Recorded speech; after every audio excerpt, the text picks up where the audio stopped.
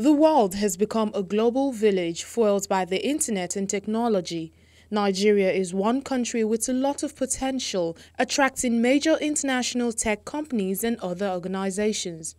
However, there is the need to ensure that .ng domain name is adopted as the primary URL for every organization that wants to do business in Nigeria.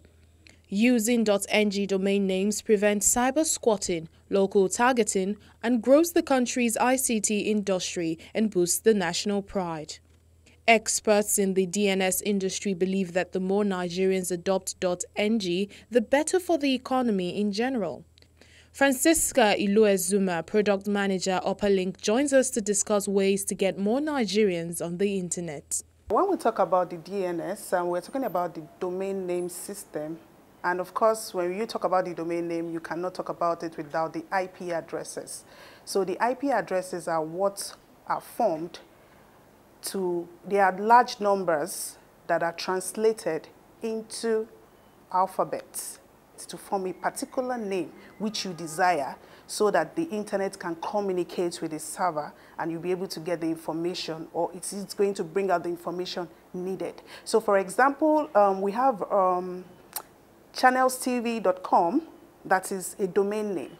Obviously, when you type in channelstv.com, that is what you know but there are some processes that goes behind, which is a particular number, some numbers that are so large that you cannot even remember. So it translates that channelstv.com into those number and it interacts with the internet to bring out the information that you need. So for us to be able to remember the address we want to give to people, they narrowed it down for us to have alphabetical names whichever word you want to have, which is known as the domain name, so that people can remember. So take, for instance, I want to own a website, and I need to sell on my website. I cannot give you numbers. You can't remember those numbers. So I must have to think of a particular name for my website. Then I give that out to you. You type it into the browser, you translate it into the IP address, communicates with the internet and the server. Then you'll be able to have all the information I have about my website to you. That's what it simply means. Looking at DNS globally, uh, how has Nigeria fared? I would say we are struggling. We have not gotten there yet. We are really very struggling. So um, I would like to start with the adoption of the CCTLD. Let's start from there. Now, if you look at South Africa, I'm narrowing down to Africa right now, they have over 1 million domain names accepted. Looking at Nigeria, what is our population? Over 120 million. And we don't have up to 1 million domain names. I think we are still in thousand, like 100,000 in the whole of Nigeria.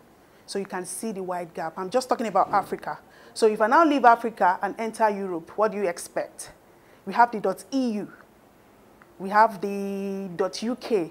We have all those extensions that the indigenes have adopted and they are using it daily, daily, daily, and they've really adopted it. So coming down to Nigeria, we are not doing so well. So I think we should be able to start with our own brand, which is the .ng. Let's embrace it, start there, and see how we are going to do with the adoption of the, um, the domain name system in Nigeria. How important is the DNS industry to the growth of the technology ecosystem? You know, there's nothing you can do in tech without the DNS. Like I said, it's the IP addresses that transform into all these um, domain names or the addresses that we have today. So you cannot come up with a tech without having a domain name or without passing through an IP process. It's, it's not possible. So if you look at today, the way our uh, our economy is growing. We know we all have our mobile apps on our phones. We all have um, what's this called? Your internet banking. It's very easy, and that's technology in Nigeria. You can't compare what we have today with what we used to have those days. So we are adopting it, and we are trying, and we are improving daily. So the DNS is a major factor for all these technologies to be adopted in Nigeria. Looking at local content and the DNS industry, how do you think both work hand in hand? When we talk about the local content, these are our own brands in Nigeria. So before we'll be able to promote our brands, we have to adopt this DNS. Look at, um, we talked about the global world earlier. You can see the way we heard about them. They didn't have to come to Nigeria to tell us what they do. We found them through the internet. So we have to sell ourselves through the internet. We have to be there for people to find us, for people to know what we do in Nigeria. So if I want to read something about Nigeria these days, all I have to do is just log on to a particular website. It brings out everything I have to know about our particular brand in Nigeria. So I think we are trying in that aspect right now, bringing our local content into the DNS industry. Also, um, I will have to touch the part of the hosting business in Nigeria, you can see that Nigeria now has their own hosting facility. Now you can host your content here in Nigeria as well. You don't have to travel all the way to UK, US, France, anywhere to host your content. This is our own indigenous hosting platform, which is open for every one of us here in Nigeria to be able to host our website. So we are also um, trying to embrace the hosting service in Nigeria so that every human that is interested in hosting their service will be able to use the local hosting we have here in Nigeria. And it is not different from what we have abroad.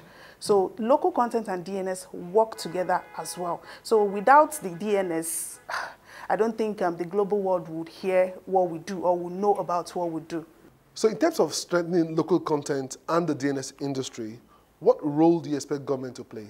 Um, I think I would expect the government to help with um, hosting locally, make it more affordable for, for, for people to access because the major complaint is that hosting is very expensive, especially when you're hosting in Nigeria, hosting locally is expensive, it's not affordable.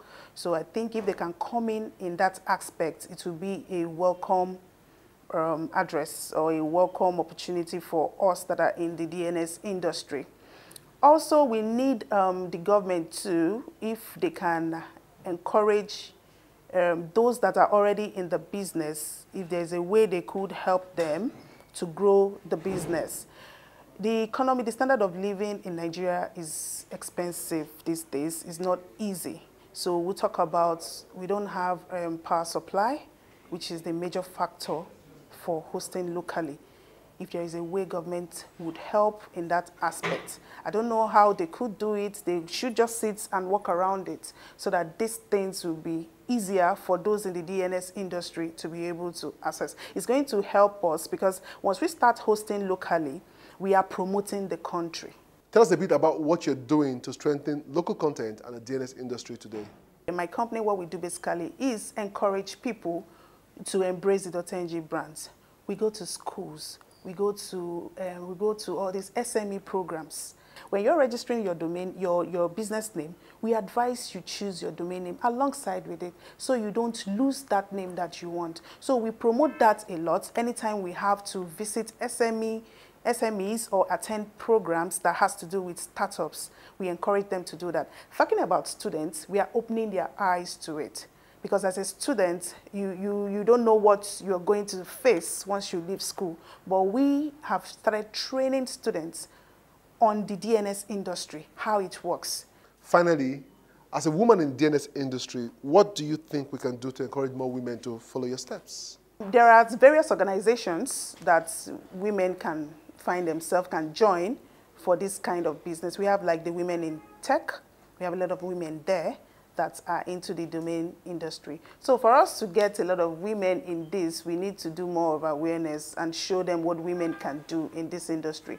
So oftentimes we see when men go out to talk, discuss about the tech issues, related issues, no. Let women start doing the talking. I think that would encourage more women to start thinking going into that line. So I think for me, I have decided to always be out there for people to see me and see what I can do so that if there is a woman out there that is aspiring to speak up in tech industry and doesn't know how to start, I want to encourage them to be able to stand up and speak up. Francisca, it's been amazing chatting with you today and thank you for being on the show today. Thank you very much, CFA.